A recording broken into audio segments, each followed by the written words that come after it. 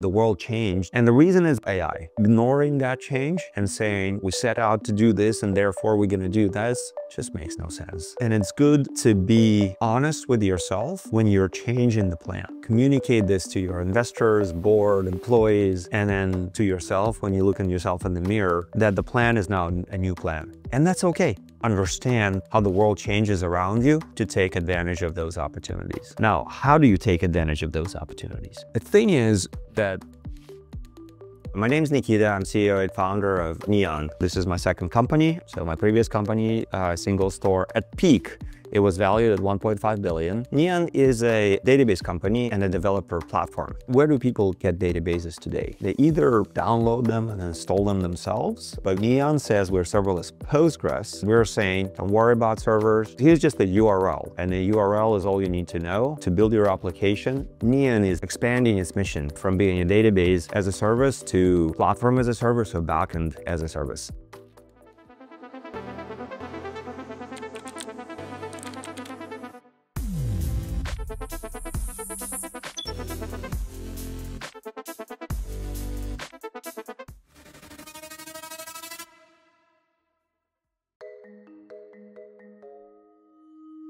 I'm building databases all my life. So at Microsoft, I joined the team called SQL Server. So when I joined Microsoft, first of all, it's an incredible team, but it's also a very, very old and stable product. I joined in 2005. And by the end of 2005, Microsoft released the product SQL Server 2005. The previous release of that product was 2001. During that time, there were people that would come to Microsoft, work on the product, leave Microsoft, and never ship software at all. At the time, I had a you know, phenomenal offer from Facebook and then took a Facebook offer, offer and moved down to the Silicon Valley. At Facebook, culture was very different from Microsoft and the speed at which things were happening was absolutely insane. A lot of people just committed to the Facebook mission, that engagement was a lot higher. And once I experienced it, I realized that this engagement exists in startups and it does not exist in larger companies, naturally. I was very susceptible for entrepreneurship. And then when my co-founder Eric is like, well, shouldn't apply to Y Combinator? And we got accepted. So my previous company, uh, SingleStore at peak, it was valued at 1.5 billion. You know, I spent there 10 years. When I took over a SingleStore, we were probably at a 7 million run rate. I took it to north of 20. And then for the first time in my life, the amount of operational work reduced temporarily. I'm not the most important layer, right? So you can just remove me from the organization and the organization will probably do just as good. And then added this to the craving of learning breadth and make the plunge. Started another database company, uh, which is Neon. That's why I left SingleStore and it kind of panned out. you know, it doesn't matter how good your technology is if there's no market fit, do people want your stuff? The best feedback, of course, is people are willing to buy this product, right? But even before that, you kind of want to, to throw it out there and see that this product is needed by the world. And then you put all this energy to making that product and making it a high quality product. You want to validate this hypothesis. How can you do that? And how can you do it as earlier in the startup cycle as possible? We started to do those things. Open source is one. Then we put together a website. We were building in the open. All the code was available on GitHub. And moreover, all the code was available on GitHub with a very permissive license. And then about, about 11 months in, our the number of GitHub stars on that product started to go vertical. Meaning if you like plot them on the line, uh, all those people starring our repo, which means they kind of interested in what we're doing. And, and that was our first product market fit signal. And then we put the website out. We didn't put a password on it and we thought we were going to launch in about two months. But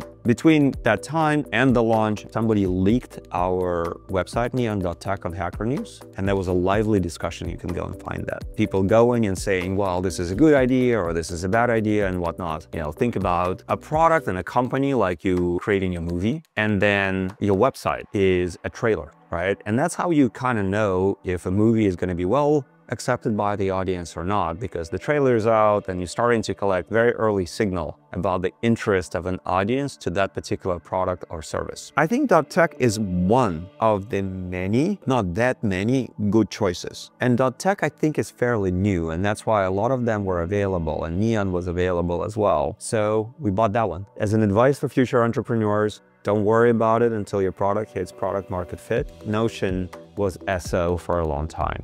And then now, now everybody uses Notion.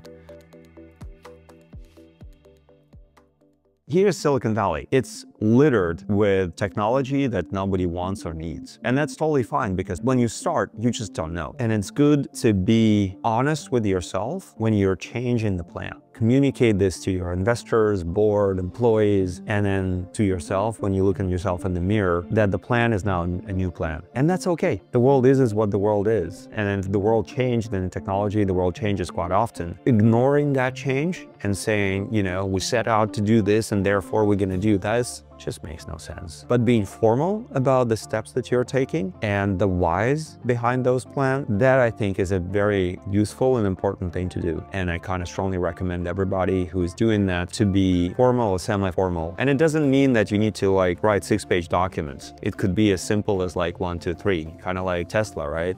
I'm gonna build a Roadster and then I'm gonna build a Tesla S and then I'm gonna build a, a, mass market Tesla 3. It could be as simple as this. But then the world changes and then introduces for Tesla the opportunity to create full self-driving and that becomes kind of like a huge emphasis for the whole company. So not only you need to be formal, not only you need to be executing very, very fast, you need to look around the corners and then understand how the world changes around you to take advantage of those opportunities. Now, how do you take advantage of those opportunities? Opportunities. When you have your 1 to 3 plan, you architect your team against your 1 to 3 plan. And then the world changes and something in this world becomes more important or becomes an opportunity. And then because the team you build is the company you build is another thing that Vinod Khosla says, you might even not have the capacity to understand how to change the plan. And even if you do, you might not have the capacity to evolve the company into that direction. And therefore, I think you must bring people from that world that you're lacking. And if the world changes in, in a particular direction, try to get the people who are experts in the direction that the world is heading. Because if you don't have the right people around you, you won't come up with a good plan.